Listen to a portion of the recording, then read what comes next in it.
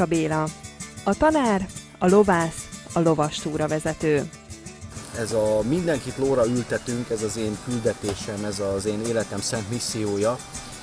Nagyon egyszerű dolog lovagolni, nagyon egyszerű dolog még tulajdonképpen lovas túrát is tenni, csak tudni kell, hogy mikor, milyen tempóban, milyen lovakkal lehet ezt megvalósítani. A lovagláshoz igazából jó szív kell, jó ló, aztán menni kell.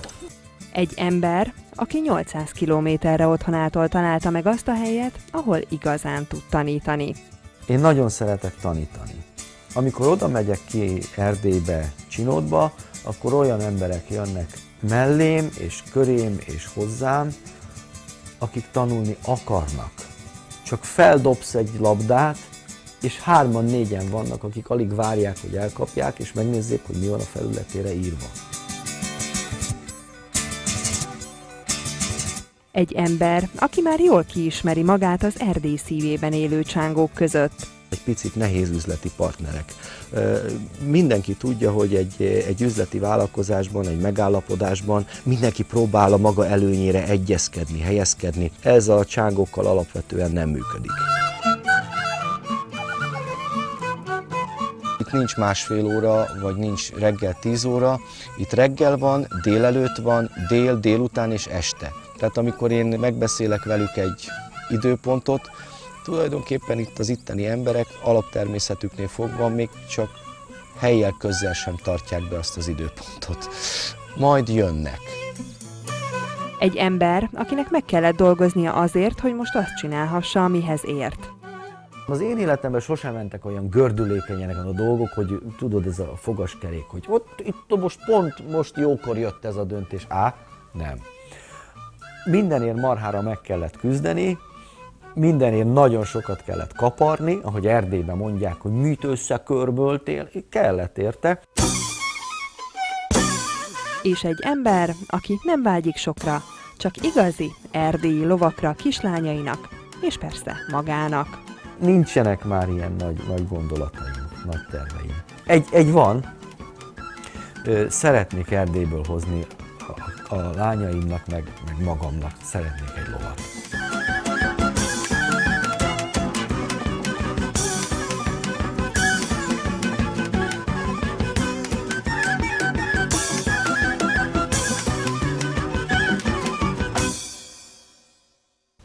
Köszöntöm a nézőket, az imént egy kis csinálót láthattak a Fehérvár televízió ma esti filmjéhez. Köszöntöm a stúdióban a film alkotóit, Palkó Zsuzsannát és Német Zoltánt, és hát a film főszereplőjét, Kocka Bélát, aki nem csak itt Fejér megyében, hanem Erdélyben is lovakkal foglalkozik, és lovas túrákat szervez. Még mielőtt a filmről beszélnénk, talán érdemes néhány szót említeni a, a ruházatodról. Mit láthatunk pontosan? Amiben most én ide jöttem, ez egy alcsiki népviselet, népviselet, viselet, a, szó, a maga, a, maga, is, maga is egy üzenettel bír, hogy viselet.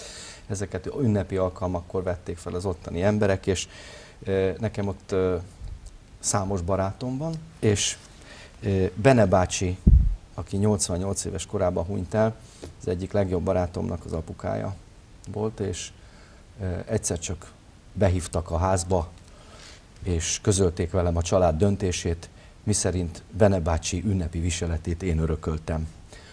És azt gondoltam, hogy ezzel a, az egész történetnek, ennek az egész erdélyi lovas túrának, meg az én ott eltöltött közel 30, több mint 30 évemnek, meg Bene bácsiéknak is tartozom azzal, hogy ezt a viseletet most magamra öltöm, és mint egy ünnepi viseletként jöttem ebbe a televízióba, erre a forgatásra ebbe.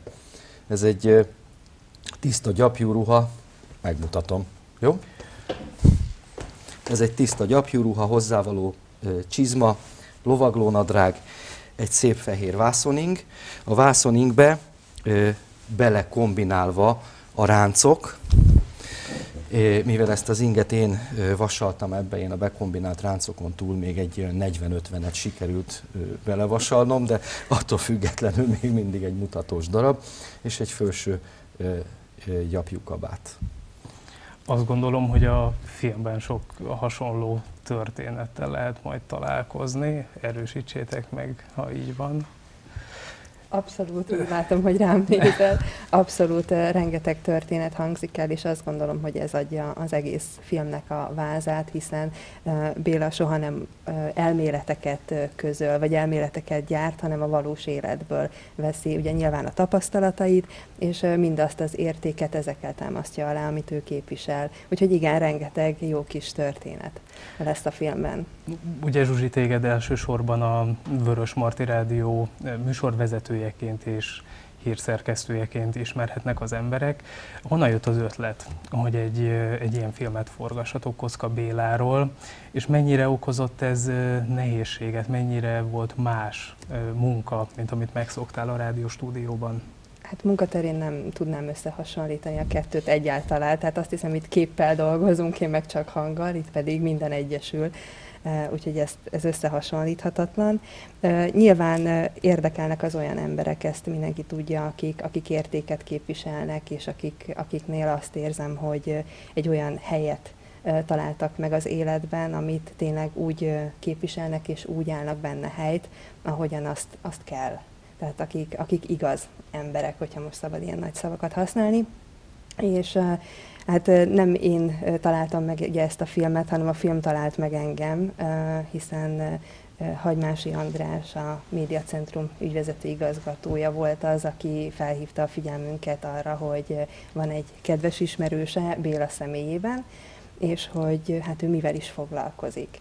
És mi így is úgy is mentünk volna ugye a Tusványosra, a nyáron a Bálványosi Nyári Szabad Egyetem és Diáktáborra, hiszen annak médiapartnerei vagyunk, vagyis a Médiacentrum támogatója, és akkor úgy gondoltuk, hogy összekötjük a, a két dolgot, hiszen azt hiszem 40 kilométer volt a, a két hely között körülbelül, és akkor miért ne töltenénk el ott egy kicsit több napot, és forgatnánk egy, egy értékes dologról. Zoli, rólad viszont tudjuk, ugye, hogy a kamera mindkét végén otthonosan mozogsz, de azért elsősorban mégiscsak a Fehérvár Média Centrum sportriportere vagy. Egy ilyen film elkészítésénél találkoztál-e nehézségekkel? Egyáltalán hogyan állt el neki a munkának? Hát féltem tőle. Nem tagadom, én féltem tőle pontosan azért, mert ugye amikor megbeszéltük, hogy elkészül ez a portréfilm, azért ilyen típusút még nem csináltam én sem. Egy kicsit féltem tőle, nyilván egy kicsit ismeretlen volt a közeg is, sőt, hát én nagyon megkedveltem a Zsuzsit, előtte mi ismertük, de dolgozni együtt nem dolgoztunk. És egy kicsit azért attól is féltem, mert nagyon fontos egy ilyen dolgnál, hogy mennyire egy hullámhosszon a, a film szerkesztője, ugye itt a Zsuzsi volt, illetve az operatőr, aki meg én. De hál' Istennek minden abszolút összeklapott. Tehát a Zsuzsival mi nagyon jól össze tudtunk dolgozni, egy iszonyatosan ö, melegszívű fogadtatás volt felénk a Bélától, amikor megéreztünk, tehát én gyakorlatilag kapásból voltam minden, amit otthon lennék, abszolút otthon éreztem magam. Ö, nagyon jó embert, egy igazán nagybetűvel írva jó embert ismertem meg a Béla személyében, aki nagyon hálás alanya volt a uh, filmnek, és hát a közeg is azért Erdély gyönyörű, tehát igazán operatőri szemmel sem volt nehéz dolgom, mert bármerre fordultam, csodálatos dolgokat tudtam rögzíteni. Milla, te hogyan fogadtad a, a hírt, hogy egy portréfilmet szeretnének rólad készíteni? Ugye, ha jól tudom, akkor a felvételek egy fele Erdélyben készült, a másik fele pedig itthon, Fehér megyében, az otthonodban. Mennyire tudtad közelengedni magadhoz a stábot? Többször elmondtam a stáb tagjainak azt, hogy miért nem izgulok. Tehát nem izgalommal fogadtam őket, várakozva, nagyon vártam, hogy megjöjjenek nem szoktam izgulni a kamera előtt, általában fontosabbnak érzem azt, amit mondani akarok, az üzenetet, mint azt, hogy én hogy érzem magam, most izgulok, vagy rosszul érzem magam attól, hogy izgulok, vagy ebbjek. Ezeken hála Istennek sikerül felülemelkedni, mert ö, ö, úgy érzem, hogy közvetítenem kell, ahogy itt többen is kihangsúlyozták, értéket, és ö, ha az ember kap egy ilyen lehetőséget, akkor mindenképpen két kézzel ragadja meg, és mondja, mondja, mondja és valószínű, hogy többször már úgy kellett lelőni a kamera előtt, mert menet közben jutott eszembe, hogy még, még, még ezt is el szeretném mondani, meg még azt is. Én nagyon, nagyon örültem ennek a lehetőségek, és nagy várakozással fogadtam őket.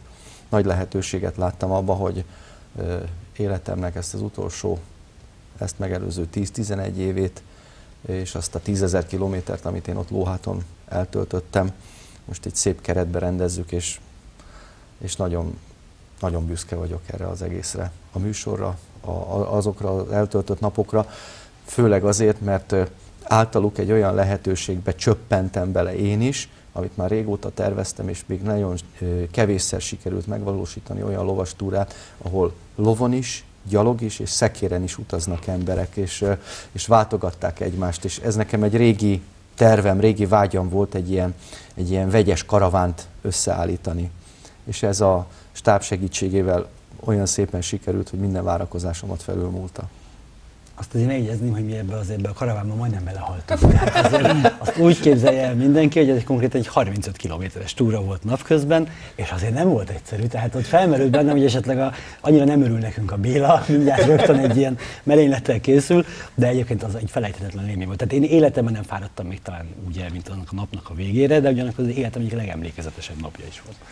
Tehát, ha már ezt a labdát egyébként földobtad, akkor szeretném, hogyha mindenki megosztaná a forgatással kapcsolatos legemlékezetesebb élményét, és akkor vissza is dobnám neked a szót. Hát nekem egyértelműen ez a nap. Tehát ugye az volt gyakorlatilag mondhatjuk, hanem is egy, egy olyan teljes nap, amikor, amikor végig kísérhettük Béla életét, a reggeli ébredéstől, a, a, a teendőkkel a lovak körül, és utána indulás, és hát rengeteg, rengeteg érdekes történetet, rengeteg érdekes tudást kaptunk tőle azon a napon, hiszen gyakorlatilag ugye, hogy haladtunk, mindig megálltunk, egy picit volt egy kis pihenő, és akkor mindjárt készítettünk interjúkat a Bélával különböző helyeken. És gyakorlatilag ott a környékbeli hegyeket, amit azért 35 kilométeres környéken szépen bejártunk ugyan a folyamán, ugye, tehát tényleg olyan részletességgel mutatta be egyrészt a környéket, a helyet, másrészt gyakorlatilag az ő gondolkodás módját, hogy élmény volt hallgatni és hiába fáradtál, és mondta volna más esetben azt mondjuk két óra elteltével, hogy na jó, engem vigyetek haza, én most le akarok tusolni, valamit hadd egyek, és akkor én most lefeküdnék aludni. Nem, mert hajtott tovább az, amit kaptál, hogy még kapjál belőle.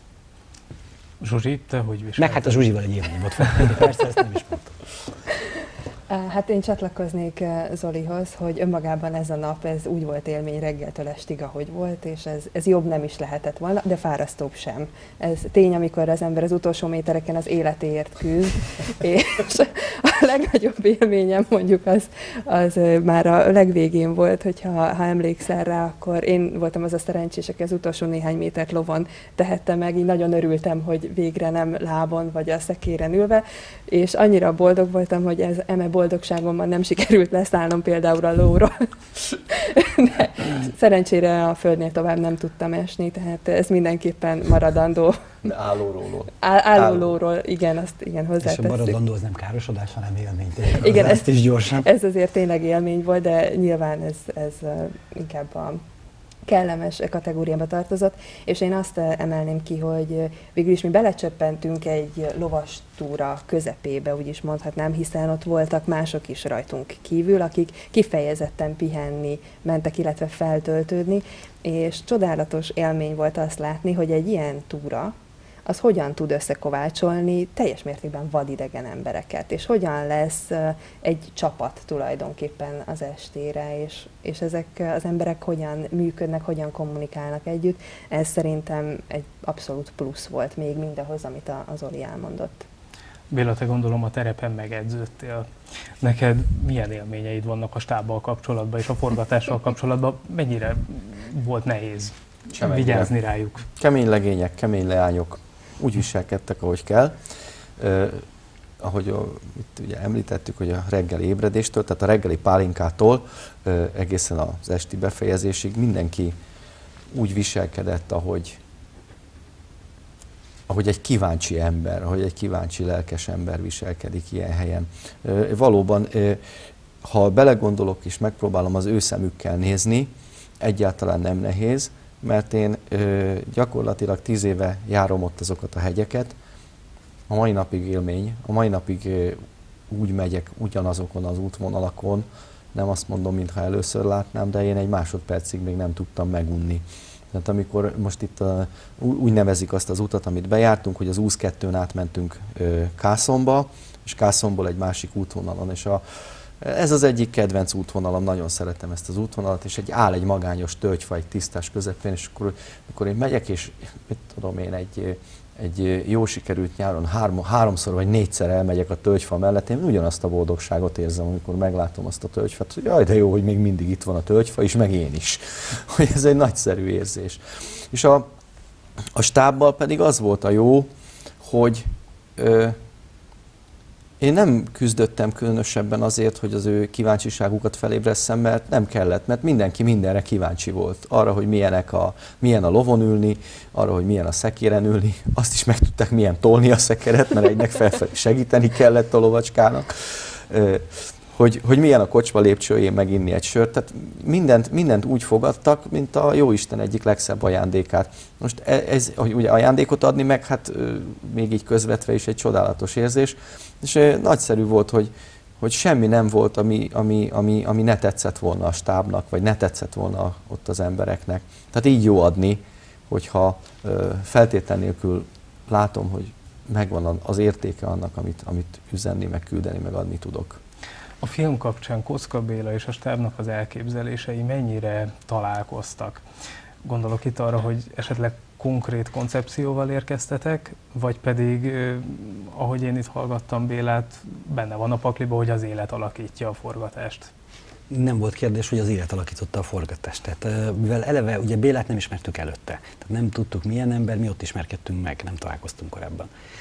Mivel eleve nem tudtuk milyen ember, eleve nem tudtuk milyen körülmények között tudunk majd forgatni, úgyhogy nagyon óvatosan bántunk úgymond a koncepcióval. Úgy voltunk vele, hogy odaérünk, körülnézzünk, megnézzük, mi a helyzet, átbeszéljük a programot, és akkor gyakorlatilag egy ilyen villámforgatókönyv szerűt kitalálunk majd, mert igazából ott kellett úgymond rögtönözni. És, és hál' Istennek én úgy érzem, hogy jól sikerült, hát remélem majd itt az adás után, ha megnézik a filmet, a nézők, akkor egyetértenek vele, mert szerintem jól sikerült így ez a úgymond rögtönzés. Zsuzsi? Nem nagyon tudok ehhez mit hozzáfűzni. Az volt az egyetlen cél szerintem, ami, ami megvolt, hogy, hogy Bélát megismerni. És nem csak ugye saját magunk számára, hanem megnézni azt, hogy, hogy hogyan tudjuk azt, amit ő képvisel, továbbítani az emberek felé, nyilván, hogyha már, ha már filmet forgatunk, de szerintem ennyi volt maximum az a, az a biztos, amivel mentünk, és azt hozzá kell tennem, hogy, hogy Béla nagyon sokat segített uh, nekünk forgatás szempontjából, hiszen mivel ő, ő ott él, mivel mármint, hogy igen, a nyarakat ott tölti, tehát nyilván otthon van az egész területen, az egész munkájában, a lovaknál, és ezért nagyon sok hasznos dolgot tudott mutatni tehát ő nagyon lelkes volt, én legalábbis ezt láttam rajta, és ez nyilván minket is lelkesített, és nem volt olyan, amit ő meg akart mutatni, és mi azt mondtuk volna, hogy hát ez nem, mert, mert minden, mindenre kíváncsiak voltunk, és minden olyan volt, amire úgy gondoltuk, hogy mások is kíváncsiak lennének. Még annyit hozzátennék, hogy egy nagyon fontos ilyenkor, amikor egy portréfilmet forgatsz, hogy mennyire tud te, mint alkotó, egy hullámhozra kerülni azzal, akiről forgatsz. Valamikor ez nem megy. Tehát egyszerűen, amikor ugye nincs két egyforma ember, és előfordulhat, hogy éppen te hiába nem, tehát megcsinálod becsülettel azt a filmet, de mégis valami hiányzik belőle, mert valahogy nem tudsz egy hullám hosszon, más nézeteket képviselsz, akár a világról, akár az életről, de valamiért ez nem megy. És akkor nyilván egyfajta bizalmatlanság is fennmarad akár a forgatás során is. Hiába csinálod meg te becsülettel, olyan, mint amikor pég süt egy kenyeret, nem a legjobb formájában, benne van minden, megsül a kenyér, megeszed, de mégis érzed, hogy nem ez volt életed kenyere. És uh, itt ez nem fordult elő, mert például az első nap végén, tehát mi abszolút olyan, én legalábbis úgy éreztem, olyan egy hullámhozra kerültünk a Bélával, hogy kérdezte egy történetet az előbb, és ezt most ide kapcsolódva mondanám el. Ez ugye a szekér túra estéjén haladtunk, és ott már kicsit szétszakadt a mezőny. Tehát ott lemaradt egy kicsit a szekér, valakik elfáradtak, leültek, és egy kicsit szétszóródtunk. És én tudom, hogy elől mentem, azt hiszem négy, a négy ló ment elől, a Béla gyalog, illetve én gyalog, én forgattam folyamatosan. És odaértünk egy tanyához, és mondta Béla, hogy itt vigyázzunk, nagyon sok kutya van, nagyon mérgesek. Nyilván ott azért a kutyát máshogy kell mérni, tehát ahol nem a macskát kergetik, hanem épp a medvét, ott akkor azért egy kicsit haragosabbak a kutyák is.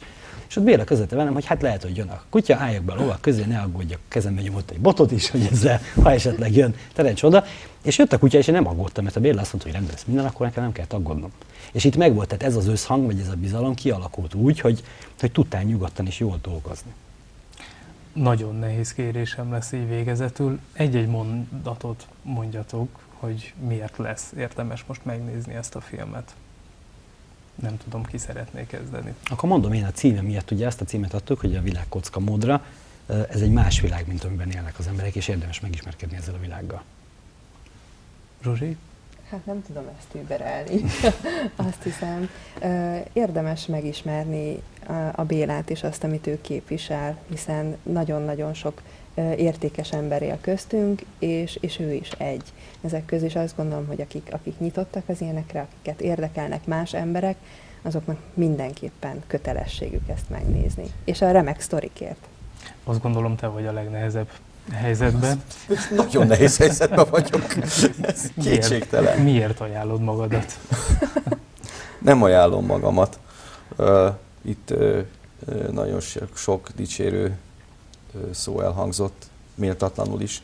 Én egy elég nehéz eset vagyok, egy nehéz ember vagyok. Magamat semmiképpen nem ajánlom, lassan már így 50 évesen magamnak se, de azt, hogy lovastúrázzanak az emberek, azt nagyon ajánlom. Amiben bízom, az az, hogy ebből a filmből átjön, hogy lovastúrázni nem nehéz. Zsuzsáék is, a stáb is ültek lovon. Volt olyan, aki életében először vezetéklovon, szekérhez kötött lovon, illetve olyan lovon, amelyik szépen batyogva kísérte a csapatot. Lovastúrázni nem ördöngösség, nem misztikus dolog. Ez a legfontosabb, hogyha ez átjön a filmből, akkor azt gondolom, hogy nem értem hiába, nem fáradoztunk hiába ezzel a filmmel, mert nagyon sok téveszme kíséri úgy a lovaglást, illetve a lovaglásnak néhány fajtáját, mint a lovas túrázást is. Ezek a téveszmék, ezek azt sugalják, hogy ahhoz különleges képességek kellenek, különleges lehetőségek kellenek, vagy nagyon sok pénz kell, vagy egyebek. Tehát sok minden ennek a szabadidős elfoglaltságnak sok minden olyan híre van, ami visszatartja az embereket attól, hogy közelebb kerüljenek hozzá. És én továbbra is azt mondom, hogy ennek fele sem igaz jó ló kell hozzá, jó környezet, és menni, menni, menni, mert a lovastúrázás nem olyan bonyolult dolog, mint ami ennek elgondolják az emberek. Nagyon szépen lehet lovastúrázni kezdő lovasoknak is, sőt, csináltunk már olyanokat is, hogy teljesen kezdő lovas, aki életében először ült vezetéklovon, járta végig velünk a túra útvonalak egy részét, és vezetéklovon mentünk el a Csíksomjói búcsúba. A vezetékló azt jelenti, hogy a ló a szekér hátuljához van kötve. Ez nem feltétlenül a klasszikus lovastúrázást jelenti, ez azt jelenti, hogy sok-sok kilométert, sok tíz kilométert tudott lovon ülni, jól érezte magát, és azt mondta, hogy ez sikerült. Ez az egésznek az üzenete szerintem. Ha ez, ezt, ezt sikerül sok embernek megmutatni, akkor, akkor nagyon jót csináltunk. Köszönöm, hogy elfogadtátok a meghívásunkat. Köszönöm, Köszönöm hogy itt láttam. Önöknek pedig kellemes időtöltést kívánok a filmhez, viszontlátásra!